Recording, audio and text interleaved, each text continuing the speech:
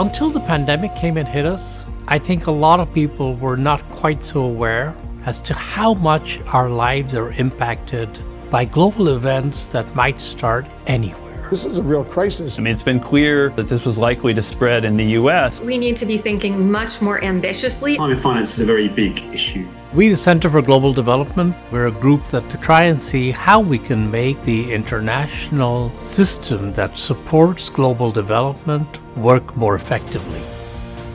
CGD came about because it was time to focus not only on what developing countries should do, but much more on what the rich world should do.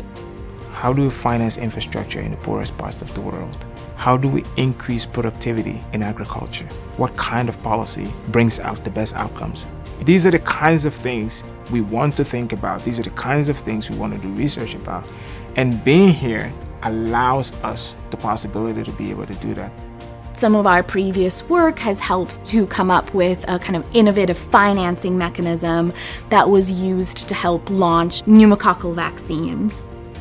In terms of the pandemic, we've been focused on how to get as many vaccines to as many people in as many places as fast as possible.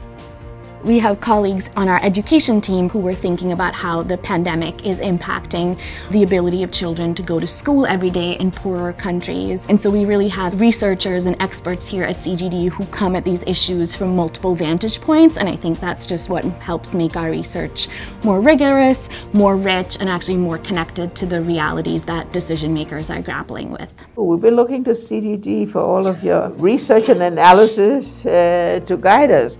So CGD is nonpartisan. Because of that, over the years, that credibility has given us significant convening power. Our government highly values the work. You've shined a light on the discipline of development, and by doing so, you've made all of us better and our work smarter and more impactful. This is an institution that has more impact than many institutions that are five or ten times its size.